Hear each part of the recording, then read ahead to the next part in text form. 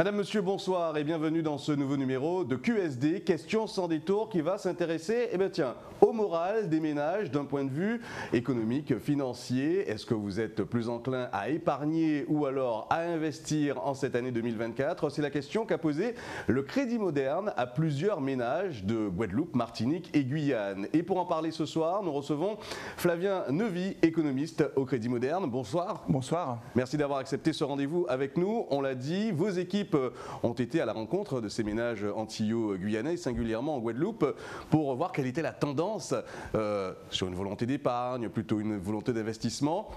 Posons la question première, comment avez-vous ressenti le moral des Guadeloupéens? Ah, Écoutez, c'est une, enquête qu'on fait maintenant depuis plusieurs années, ce qui nous permet de construire un historique. Et ce que l'on constate en 2024, c'est que le moral euh, des Guadeloupéens remonte légèrement par rapport à 2023. Alors il faut rappeler qu'il avait beaucoup baissé, hein. la forte inflation avait impacté le moral des ménages à la fois aux Antilles, mais c'est vrai d'une façon générale hein, sur l'ensemble du territoire national. Alors il remonte un petit peu, donc ça c'est plutôt une bonne nouvelle, mais il reste quand même inférieur au niveau qu'on avait avant la crise sanitaire, avant 2020. Euh, et donc euh, ça va mieux, mais on n'est pas encore au niveau euh, maximum qu'on a pu connaître par le passé. Et justement, comment ça se traduit? Plus par une volonté d'épargner ou une volonté d'acheter, tout simplement? Alors quand on pose la question de savoir si bah, les Guadeloupéens ont plutôt envie d'augmenter leur épargne ou plutôt envie d'augmenter leur niveau de consommation, on a des intentions d'épargne qui sont à peu près stables d'une année sur l'autre. 33% des personnes interrogées nous disent qu'elles veulent mettre de l'argent de côté au même niveau que l'année dernière, en fait. Par contre, les intentions de consommer augmentent un petit peu, mmh. ce qui est d'ailleurs cohérent avec le moral qui remonte, c'est-à-dire que on sait bien que la consommation, elle est très liée à la confiance que l'on peut avoir, à la confiance qu'on peut avoir dans l'avenir. Donc si on a un moral qui remonte un petit peu, c'est plutôt une bonne nouvelle pour l'économie euh, de l'île parce qu'on sait que la consommation des ménages, c'est un moteur essentiel évidemment pour l'économie locale. Alors, euh, quand on parle de volonté d'achat, d'un moral qui remonte, ça se traduit dans quel secteur d'activité euh, Où est-ce que les Guadeloupéens sont le plus enclins à déposer leurs billes? Alors, c'est très clair, c'est tout ce qui va toucher au tourisme, aux loisirs, les dépenses plaisir en quelque sorte. C'est-à-dire qu'il y a une volonté quand même de se faire plaisir. Alors ça, c'est un phénomène que l'on constate de tout temps, c'est-à-dire que quand le contexte est très difficile, bah, les gens, ils ont quand même envie de se changer un peu les idées et de se faire plaisir, avec quelquefois des plaisirs qui ne coûtent pas forcément très cher, mais ils ont envie de se faire plaisir. Et quand ça va un peu mieux ou quand le moral remonte, bah, là aussi, on va en profiter pour se faire plaisir. Et puis après, derrière les dépenses qui sont liées au tourisme, au loisir, on a tout ce qui va toucher à l'équipement de la maison, c'est-à-dire que le logement est très important. Donc des intentions d'achat en produits électroménagers qui sont à un bon niveau, sur l'ameublement également, pour le bricolage, le jardinage, bref, tout l'univers de la maison, finalement, c'est un univers au sein duquel on a envie d'investir parce que le logement est très important. il est d'autant plus important aux Antilles, mais c'est vrai qu'on est sorti de, quelques années difficiles, avec le, Covid notamment, où on a, on a retrouvé le goût de rester à la maison. Ça aussi, ça pousse le Guadeloupéen à, réaménager son habitat Oui, parce que, en fait, euh, bah, la maison, d'abord, on y passe quand même beaucoup de temps, hein, d'une façon générale. Euh, ça, depuis toujours, c'est l'endroit où on va manger, on va passer du temps en famille, etc. Puis aussi, pour ceux qui le font et ceux qui peuvent le faire, il y a aussi maintenant un petit peu de travail, un petit peu de télétravail. Donc en fait, le logement a beaucoup évolué, des pièces ont évolué, la cuisine a changé, elle s'est plutôt ouverte vers l'extérieur. Et c'est vrai que comme on y passe du temps, ben, on a envie d'être bien dans son logement. Et c'est pour ça qu'on n'hésite pas à investir. Euh, ça peut être dans la décoration, ça peut être dans l'équipement mobilier, ça peut être dans plein de choses. On a des intentions d'achat sur les travaux qui sont plutôt à des niveaux élevés. Et donc on voit que oui, le logement, c'est super important. Ce sont des données que vous retrouvez dans les autres départements d'outre-mer? Alors ce qui distingue la Guadeloupe de la Martinique, de la Guyane, et même de l'île de la Réunion, puisque la Réunion est également dans le périmètre de l'étude, c'est qu'on a des intentions euh, de travaux qui sont supérieures en Guadeloupe. C'est-à-dire qu'on a une volonté d'investir dans ce logement qui est un petit peu supérieure, par exemple, à la Réunion, mais même à la Martinique, avec des intentions d'achat sur les équipements qui vont être liés à l'énergie. Donc ça peut être la climatisation, ça peut être du photovoltaïque, ça peut être également pour isoler le, logement avec des fenêtres. Ça, permet d'isoler d'un point de vue thermique, mais aussi sur le plan euh, sonore. C'est-à-dire que quand on a des bonnes fenêtres, on a moins de bruit. Donc on a des intentions d'achat en travaux qui sont plutôt à des niveaux élevés, en tout cas plus élevés que dans les autres départements qu'on a testés. Euh, toujours sur la question de l'habitat, on a beaucoup de communication sur les politiques publiques d'économie d'énergie, euh, d'isolation, comme vous vouliez euh, de, l'évoquer. là aussi, ça, dirige le choix d'achat dans les travaux d'habitat des Guadeloupéens? Pas beaucoup, pas beaucoup.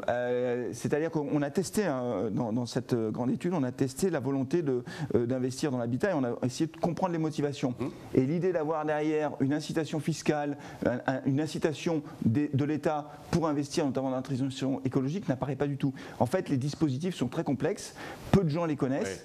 La complexité, ouais, la complexité, alors c'est un sujet qui est vrai partout. Hein, je veux dire, pas, pas spécifique non, non, pas, non, non, pas du tout. C'est pas du tout spécifique aux Antilles. Ma prime rénov, par exemple, ne marche pas très bien euh, dans l'ensemble du territoire national parce que c'est très compliqué. Et puis le deuxième problème, c'est que ce sont des dispositifs qui évoluent en permanence. Donc c'est vrai que dans cette enquête du, Crédit Moderne, on voit bien que ces, incitations fiscales finalement ne sont pas des moteurs essentiels dans le, dans le choix de faire des travaux. Et puis il y a une particularité dans, dans l'étude que, nous avons notée, euh, c'est le choix de la pièce sur laquelle on va le plus investir en Guadeloupe, c'est donc la chambre. Ouais, en tout cas, on a, ouais, c'est drôle parce qu'on a posé la question de savoir quelles étaient les deux pièces les plus importantes. Voilà la, question qu'on a posée.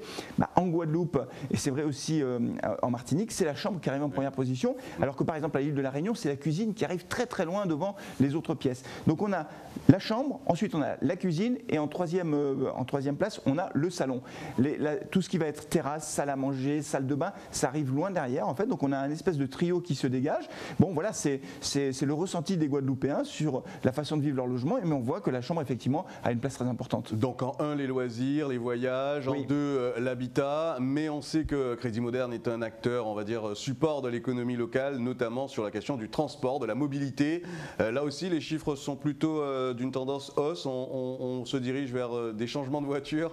Alors effectivement, la, place de la voiture dans la mobilité quotidienne en Guadeloupe, elle est centrale en fait. Hein. Il y a, évidemment, l'écrasante majorité des gens se déplacent en voiture. On voit quand même que, ben voilà, par rapport au transport en commun, il y a des attentes qui peuvent être fortes en disant ben, j'ai besoin d'avoir un service de bon niveau, de bonne qualité, etc. Et nous, on a fait des prévisions de marché euh, pour l'année 2024, puisqu'on sait qu'en Guadeloupe, on vend 17 000 véhicules neufs par an, hein, c'est-à-dire 14 500 véhicules particuliers, 2500 véhicules utilitaires légers. Globalement, l'année enfin, prochaine, cette année, en 2024, on devrait avoir un marché à peu près du même niveau que 2023. Donc, c'est pas une baisse, c'est pas non plus une hausse, parce que ben voilà. C'est quand même pas mal. Hein, ouais, c'est pas mal.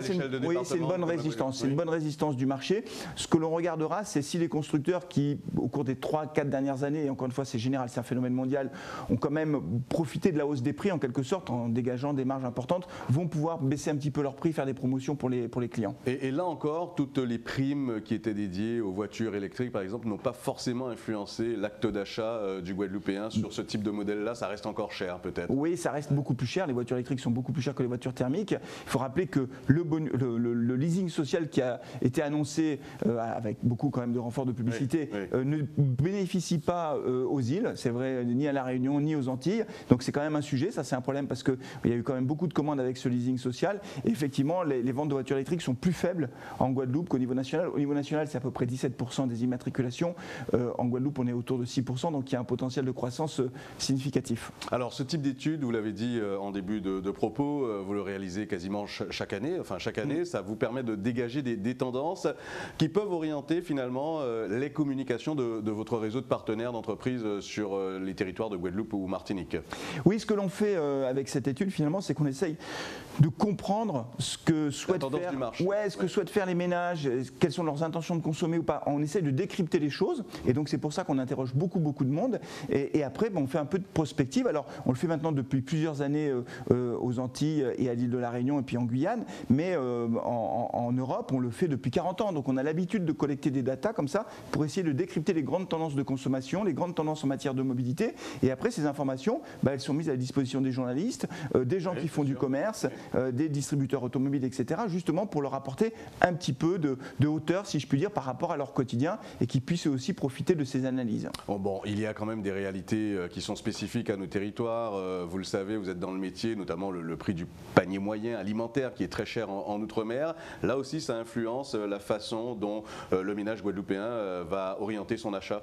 Oui, bien sûr, parce qu'il il faut rappeler que la, forte hausse des prix, d'une façon générale, mais des prix de l'alimentaire, on n'avait pas connu ça depuis 40 ans en fait. Hein. C'est un phénomène que beaucoup de ménages n'avaient jamais connu. Tous ceux qui ont moins de 50 ans n'avaient jamais été confrontés à ça, à une telle valse des étiquettes. Et ce qui est très injuste dans la hausse des prix de l'alimentaire, c'est que ce sont les ménages modestes qui ont été les plus touchés, qui ont été les plus touchés parce que le poids des dépenses alimentaires pèse lourd. Donc face à ça, les gens ont essayé de se débrouiller comme ils pouvaient. Et euh, heureusement, aujourd'hui, on a plutôt une inflation qui est en train de, ralentir, mais c'est quand même un sujet d'inquiétude qui reste présent. Et justement, ça me permet de poser la question. Je ne sais pas si vous avez séquencé euh, par type, euh, par catégorie socioprofessionnelle ces volontés d'achat, mais quels sont les types de ménages qui sont les plus enclins à acheter C'est monsieur madame tout le monde, des CSP, des cadres Non, en, fait, les intentions d'achat, on voit bien que plus les ménages ont des moyens élevés, évidemment, plus leurs intentions d'achat sont, importantes.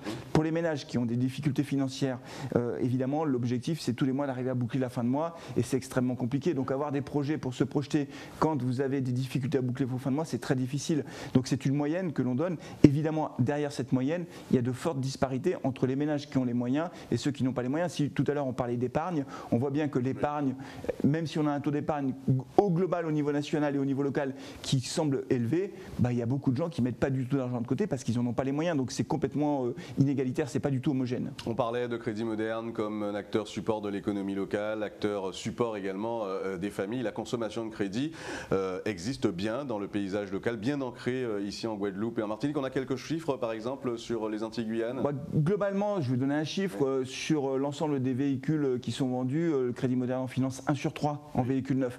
Donc en fait, le Crédit Moderne est un financeur très important de l'économie réelle. Ce qu'il faut rappeler, c'est que nous, on finance les projets des clients en fait. Ils ont des projets, ils veulent changer de voiture, ils veulent faire des travaux chez eux, transition énergétique. Ben, nous, on va les accompagner dans leurs projets. Tout l'enjeu, évidemment, c'est de pouvoir accompagner un maximum de personnes sans pour autant les mettre en difficulté. Donc c'est toujours ça l'équilibre, parce que si on prête de l'argent à quelqu'un qui aura des difficultés à rembourser, ça, ne sert personne, ni notre client, ni nous, puisque nous, c'est pas du tout notre intérêt. Donc l'équilibre, c'est finalement d'avoir un accès au crédit au plus grand nombre, tout en faisant très attention ben, à ne pas avoir d'impayé, à ne pas mettre nos clients en difficulté. Mais l'objectif, évidemment, c'est de financer l'économie réelle. À bon entendeur, salut. Merci Flavien Nevy d'être intervenu euh, dans cette émission euh, Questions sans détour. Vous l'avez compris, mesdames et messieurs.